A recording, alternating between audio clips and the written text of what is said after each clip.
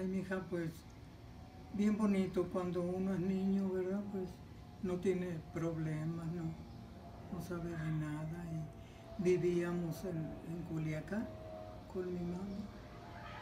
Y de ahí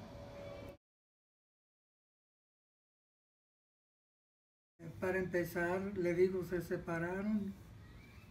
Pues así le dije. Mi mamá fue padre y madre. Y, y yo pues eh, fui brava con, con mis hijos. Mi- fui yo la que los corregí. Fui la que los corregí. Mi esposo pues trabajando. sí. Pero pues por eso yo creo también, digo tampoco a, a mandarlos al hospital, ¿verdad? Eh, creo que salimos adelante bien. Él pues, eh, el esposo, mi esposo, buena onda, buen padre. Buen- No, pues ahora está muy, muy difícil corregirlos porque se dice que hasta un- una nalgada no se debe dar a los niños. Y yo pienso que eso está mal, porque luego cuando, si la criatura es rebelde y hace, o ya muchacho adolescente, hace una, una travesura, ¿verdad? Una, pues algo malo. ¿A quién le van a, a reclamar?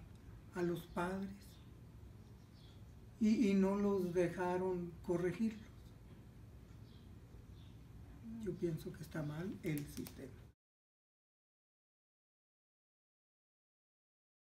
Los 19 años me, casé.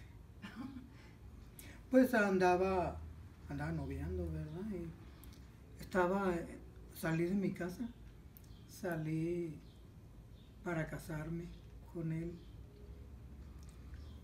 Y bien,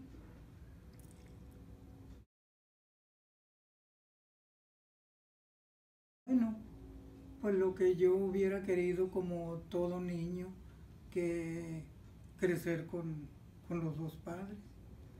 Pero por lo demás, todo bien. Es, cada época tiene su,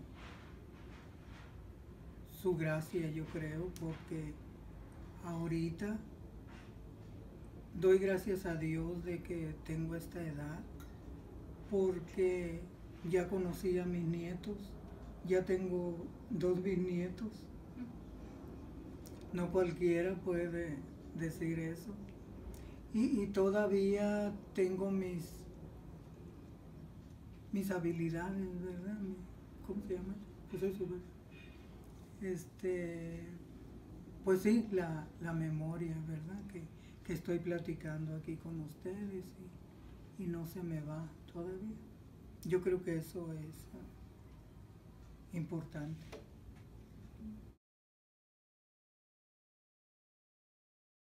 Recuerden que tienen valores que, que sus padres les inculcaron y que siempre vayan recto, nunca se, se vayan por el mal camino porque no trae nada bueno.